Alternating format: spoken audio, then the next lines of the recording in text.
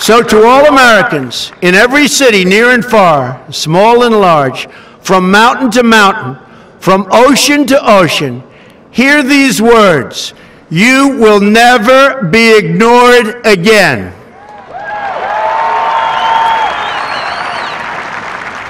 Your voice, your hopes, and your dreams will define our American destiny. And your courage and goodness and love will forever guide us along the way. Together, we will make America strong again. We will make America wealthy again. We will make America proud again. We will make America safe again. And yes, together, we will make America great again.